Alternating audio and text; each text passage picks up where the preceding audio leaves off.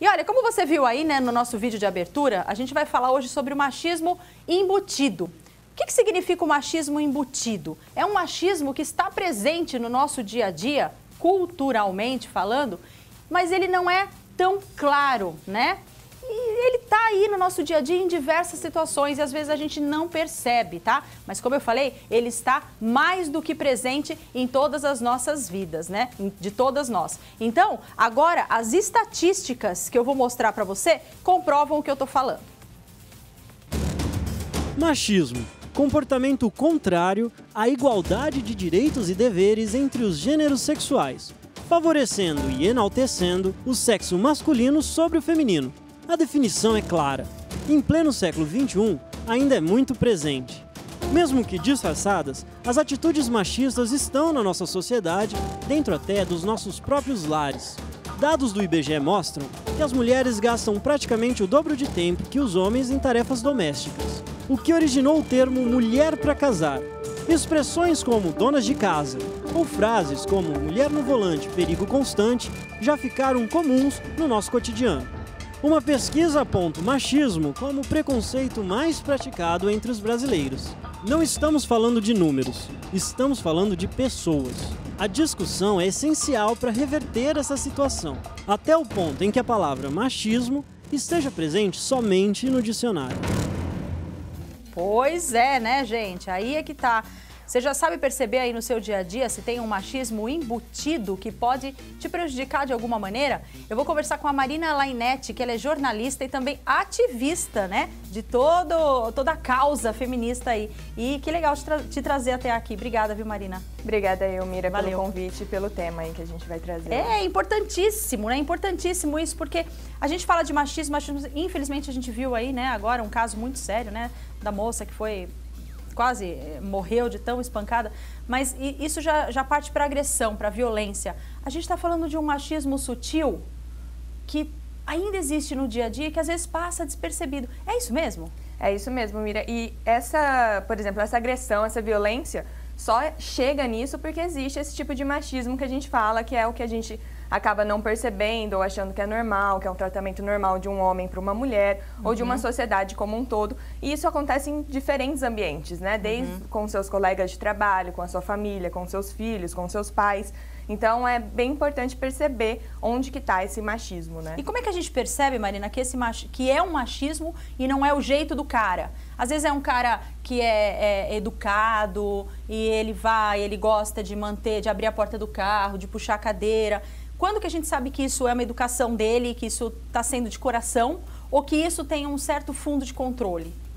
É, eu acho que assim, uma maneira fácil de comparar é ver se ele faz isso com os amigos dele, homens também. Hum. Ou com pessoas homens. Se ele também é educado com pessoas homens, se ele também é todo gentil assim com homens, então ele também, teoricamente, é gentil com mulheres. Certo. É que é meio complicado é isso. É da pessoa. Ela é uma pessoa gentil. Então isso. ela vai ser gentil onde ele passar. Isso. Aí tem muita gente que fala, ah, mas o feminismo é contra a gentileza. Não é isso. É uhum. só que é não deixar que a mulher, não parecer que a mulher é incapaz de fazer alguma coisa uhum. para disfarçado de gentileza, né? Uhum. Então, se a uhum. pessoa é gentil, ela vai ser gentil com todo mundo, seja homem ou seja mulher. Se ela não é gentil com um homem, mas é gentil sempre com uma mulher, eu acho que aí parte para achar que é uma incapacidade da mulher de fazer determinadas tarefas, né? Porque sempre que a gente fala de uma causa igualitária, como a gente está falando aqui, é, as pessoas em casa às vezes pensam, puxa, mas então se a mulher é, é, ela é igualzinha ao homem, por que, que ela não carrega o peso que o homem carrega? Por que, que ela não faz um trabalho braçal que um homem pode, pode fazer também?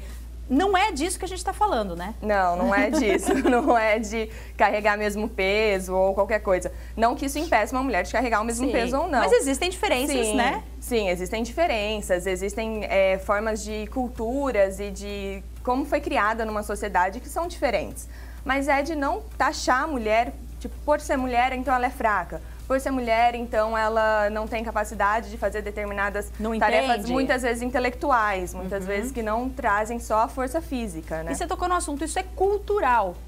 Sim. Concorda? Está é, enraizado ainda em muitas pessoas. Você acha que com as mudanças de gerações isso tende a melhorar?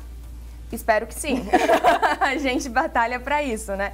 É, é uma coisa estrutural. Então, o machismo ele vem é, a gente fala culturalmente e estruturalmente, uhum. passa muitas vezes despercebido, né? Então é sempre aquela questão, quando o homem sempre se incomoda quando fala que todo homem é machista. Mas é porque isso é estrutural, isso está na sociedade. É independente do homem ser gentil ou não, das dele estar, das né? atitudes dele. É estruturalmente. Um exemplo clássico é se você está andando sozinha na rua à noite, você olha para trás e é um homem, você fica com medo. Se é uma mulher, você fica mais tranquila. Uhum. Independente se aquele homem é super gentil, super educado, é seu amigo, é seu irmão, sabe. qualquer coisa. Você não sabe quem é aquela pessoa. Certo, exatamente, né? E ó, daqui a pouco eu vou continuar a conversa aqui com a Marina, porque a gente vai mostrar para você é, algumas situações do nosso dia a dia onde tudo isso acontece mesmo. Porque eu acho que só a gente percebendo e mudando é que isso vai é, saindo né, da nossa vida aos pouquinhos, né? Mas pelo menos a gente tem que ter a noção de que isso acontece.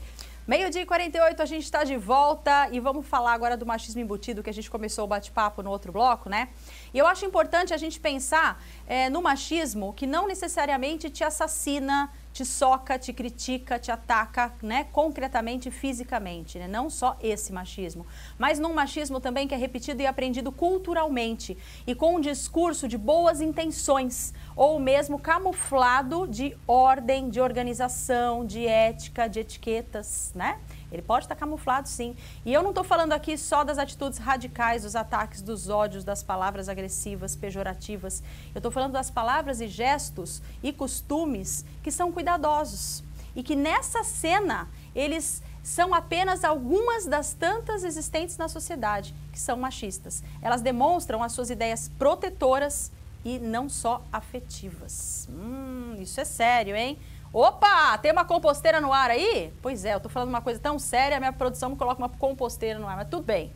Vamos voltar. Eu tô falando do machismo, gente. Tô falando do machismo que está embutido no nosso dia a dia. E isso é muito sério. Será que foi um homem ou uma mulher que colocou essa composteira errada no ar? Fica aí a pergunta.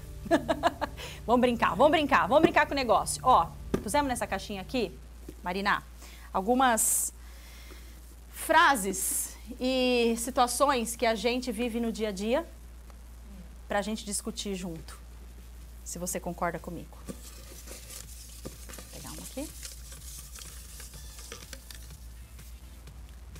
Quando os pais dizem em casa, seu irmão pode porque ele é homem, porque ele é menino. Você não pode porque você é mulher, é menina. Aí a gente já vê como é perpetuado esse machismo cultural, né, estrutural como a gente acaba repassando, às vezes até como mãe, né, acaba repassando para os filhos esse tipo de comportamento, que muitas vezes vem mascarado de proteção. É certo. É claro que na sociedade que a gente vive, a mulher ela precisa ter precisa, mais cuidado, e, até com motoristas, né, uhum. de aplicativos como você citou uh, anteriormente, mas é uma reprodução de uma proibição do que mulher pode e que mulher não pode, né? E geralmente os filhos não ajudam as mães em casa, igual as filhas ajudam as mães em casa. Certo. E, e todo esse processo vai se reproduzir. Filha, você precisa aprender a cozinhar. Filha, você precisa aprender a lavar roupa. E não, filho, você precisa cozinhar. Filho, você precisa lavar roupa. Então, ó, chega. Chega, vamos lá, tratar as criancinhas iguaizinhas. Mais um. Quero ver se alguma, coisa, alguma dessas daqui já aconteceu comigo. Essa aí não aconteceu porque eu sou filha única, então vamos ver. Não tinha comparação. Não tinha comparação, mas se tivesse. Mulher não precisa ter prazer em toda relação sexual. Ah, essa é. Uma rapidinha basta. Essa é muito comum, tanto que mais de 50% das mulheres nunca tiveram um orgasmo numa relação sexual. Mais de quanto? 50% das mulheres tá no brincando? Brasil nunca tiveram uma relação, um orgasmo numa relação sexual. Ah. Isso vem muito dessa frase, né, de, de não pensar no prazer da parceira, no prazer do outro, já tô e rasgando sim no já. único. Pelo amor de Deus. é bem isso mesmo, né? É. O homem acha que aquele momento é para ele. Sim. Muitos homens acham, tá? A gente não está generalizando ali. aqui, a gente não está levantando nenhuma bandeira, a gente está só falando que é a realidade mesmo. Falou? Esse aqui. Quando estamos num restaurante, pedimos um suco e uma bebida alcoólica. O suco sempre é colocado para a mulher e a bebida alcoólica sempre colocada para o homem, geralmente, né? É, não é assim? No pensamento, mulher não bebe, né? Eu acho que muita mulher que toma uma cerveja, toma um vinho, já passou por isso, se tá com algum homem que não bebe. Sempre é, é acaba sendo invertido isso, né? Porque mulher não bebe, mulher isso tem que já se aconteceu. comportar. Ah, meu, já aconteceu. É, meu marido tomando remédio, antibiótico, ele não estava bebendo nada. Nós pedimos uma cervejinha para mim e ele pediu, acho que, sei lá, um refrigerante, um suco. Lógico que na hora que chegou na mesa, a cervejinha foi para ele E aí eu fiz questão de falar, "Hum, hum, tá errado, vamos trocar. Aí a gente trocou. É importante falar é, isso. É, não é, tem que falar, porque às Sim. vezes a gente pensa que está sendo grosseira, né, com o garçom que, que faz aquilo sem pensar, né? Sim, mas é importante porque por fazer sem pensar, às vezes é bom falar, que aí ele já se toca e pergunta, né, quando chega, pra quem é cerveja? Pra quem é? Educação. Você não sabe o que, que a gente bebe? Exatamente. Ser desprezada quando opina sobre assuntos tipicamente masculinos, como futebol, lutas e até, é, mesmo que ela saiba o que está falando, assuntos intelectuais. Ah, você sim. falou. Com certeza, essa é muito comum, né? Muito comum. Tanto que a gente tem até, falando você é jornalista, eu jornalista, é, quando a jornalista é mulher cobrindo um jogo de futebol, né? Alguma coisa, sempre tem um olhar, assim, duvidoso sobre a capacidade dela de opinar sobre um jogo, de torcer, de fato. É, então, isso também é muito comum e a capacidade intelectual é sempre colocada em prova. Tanto que mulher ganha 30% menos do que homem ocupando o mesmo cargo. E as mulheres são as mais escolarizadas no país hoje. Então, sendo mais escolarizada, a gente ainda recebe menos. Imagina, né? Ai, meu Deus do céu. Tem mais, tem mais, gente, tem muito mais. Participa com a gente, manda um WhatsApp aí, ó. Tá vendo o número? Grava no seu celular, esse aí é o WhatsApp do programa. Manda pra gente o que, que já aconteceu de situação eh, de machismo embutido aí nas- no seu dia a dia. Manda que eu sei que tem, eu sei que tem. O quê? Já tem? Olha lá, é do Matheus Oliveira, de Urupês. Um beijo, Matheus, obrigada. Como combater o machismo no mercado de trabalho? Olha aí, exatamente o que você falou agora, Marina. Sim. Você acha que tem uma maneira de combater isso? Isso acho que vem muito dos donos das empresas, né, e dos empresários de contratarem mulheres pelo mesmo salário e também das mulheres reivindicarem melhores salários, né? E daí vem também com leis, com projetos é, públicos, né, com questões. Teve até um, um projeto de lei que iria proibir essa questão de diferença salarial entre homem e mulher ocupando o mesmo cargo, é, mas acaba não andando para frente porque o nosso parlamento também é feito basicamente de homens, né? Então não é interessante. Né? Pra quê, né? E eu achei Exatamente. legal que foi um homem que mandou a pergunta pra gente, né? O Matheus. Boa, boa, Matheus. Quem sabe um dia a gente consegue, né? Porque tem essa também, né? A gente vai querer ser, é, é, batalhar por aquilo que a gente já sabe. Parece que precisa ser provado, né? A mulher tá lá no mercado de trabalho, ela precisa provar que ela sabe pra depois alguém falar, ô, oh, ela sabe mesmo. Bom, enfim. Vou ficar nervosa falando essas coisas. Quando vamos experimentar vinho, né? Aquela provinha do vinho, sabe? Que o, que o garçom vem e põe na taça. Sempre é oferecido para o homem provar este vinho.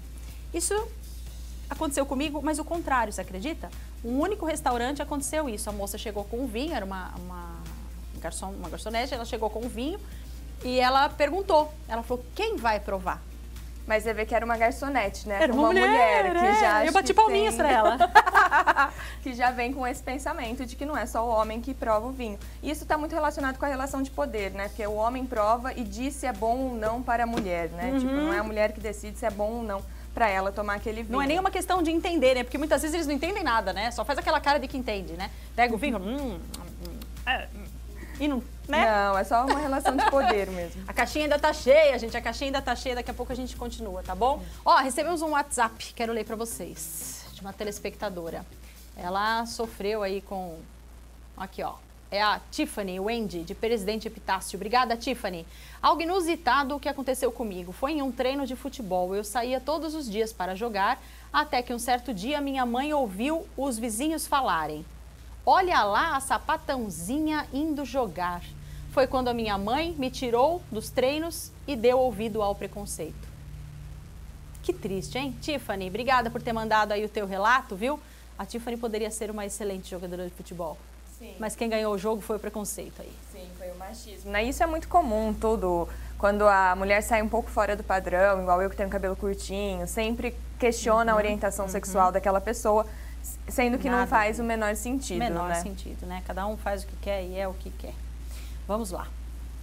Mais machismo embutido no dia a dia. Nessa caixinha aqui, ó, tem algumas situações do nosso dia a dia que a gente não percebe muitas vezes. Homens e mulheres trabalham fora. Por que cabe às mulheres fazerem o serviço doméstico quando chegam em casa? Em muitas casas, a gente tem que também falar, né?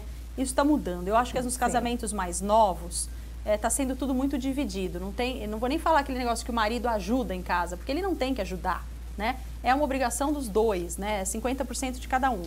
Mas ainda, em diversos casamentos, cabe à mulher chegar em casa e fazer os serviços domésticos. Sim, isso quando ela não fica responsável totalmente, né? Assim, uhum. quando. Porque a palavra ajudar, Além como você disse, uhum. já é errada, né? Porque os dois moram na casa, os dois têm responsabilidade naquela casa. Mas isso está melhorando, tá? A partir do momento que a mulher saiu de casa e começou a ver essa questão do machismo, é, isso há muitos anos atrás, né? Foi começou esse processo, também começou a mudar isso e os homens começaram também a fazer os serviços em casa. Mas ainda uhum. tem muitas casas que a mulher faz todo o serviço. Então, então aí fica a jornada dupla e tripla, né? Esse aqui. Ainda tem um monte de situações aqui dentro da caixinha, pena que a gente não vai ter tempo para falar.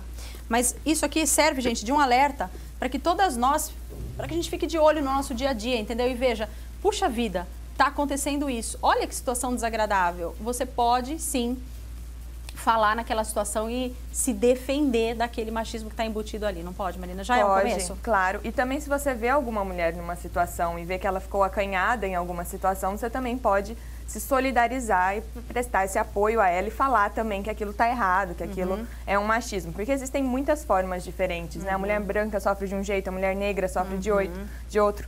Então é sempre importante se posicionar, não só no seu caso, mas, mas no caso, caso de, de, amigas, outras pessoas. Perfeito. E no caso de um cara que está vendo a gente falar agora lá em casa, ele fala: puxa vida, eu faço algumas dessas, eu tenho alguma dessas atitudes, né? É, sem pensar, muitas vezes, como a gente falou, estruturalmente, culturalmente. Como que esse cara começa a mudar suas atitudes é, é, sem perder a gentileza, que às vezes uhum. ele já tem, né? Mas sem querer parecer machista. Primeiro reconhecendo isso, reconhecer isso já, tá já bom é um demais. grande passo, né? E a partir disso ver os seus benefícios, as suas vantagens e os seus atos e sempre repensar, né? Uhum. Sempre, opa, aqui estou fazendo errado, deixa eu fazer de outro uhum. jeito. Por que, que eu estou abrindo a porta para ela? Porque eu amo essa mulher, porque eu realmente eu quero que quero dar esse mimo para ela ou porque eu quero controlar de alguma maneira lá no meu fundinho, não é? Então Sim. ele tem que pensar e fazer esse é, é, é, realmente essa autoanálise, exatamente. Obrigada pelo nosso bate-papo. A gente Obrigada poderia ficar aqui mais umas três horas conversando sobre o assunto, porque eu acho que tem muita coisa para ser falada, mas a gente vai falando ao longo dos programas aí. Mas fica com a gente que no próximo bloco tem Jean Dornelas, um quadro super legal que você acompanha com a gente. Combinado? Okay, então. Obrigada, Obrigada, viu?